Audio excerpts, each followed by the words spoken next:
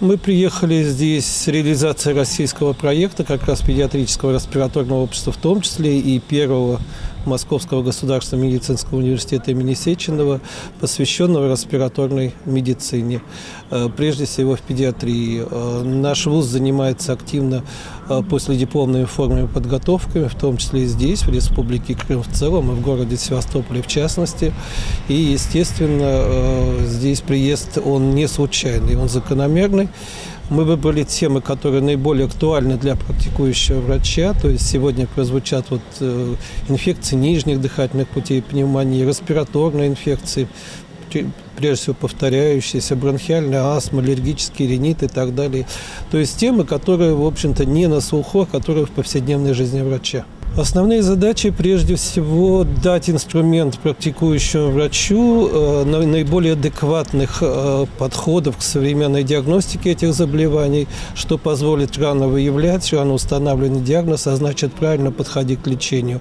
К новые подходы к э, инновационные к лечению, которые есть не только в России, но и в мире в целом. Ну и третье, мы привезли еще диагностический комплекс, который передаем безвозмездно от респираторного общества здесь э, городу в одно из лечебных учреждений для диагностики функций внешнего дыхания у детей, начиная с нуля, то есть с рождения. То есть те методы, которые существуют, они в основном после 6 лет. А до 6 лет ребенок живет и, к сожалению, чаще, чем другие возраста, болеет респираторными инфекциями. И с тем, чтобы раньше поставить диагноз, особенно, например, тот же э, аллергического заболевания в виде бронхиальной астмы, нужны такие методы. Что сегодня мы сделаем? Мы постараемся научить врачей, как пользоваться этим аппаратом и пригласим их к себе на кратковременное обучение. Решать прежде всего э, адекватную обеспеченность врачами, кадровую обеспеченность, э, приведение прежде всего лечебных учреждений по так скажем, материальной базе к существующим стандартам, которые есть в Российской Федерации.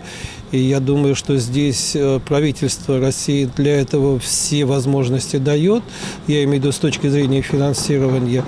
Ну и, конечно, переподготовка врачей более интенсивная, э, чтобы мы работали в одном информационном поле, я имею в виду российские врачи, том числе и врачи Севастополя.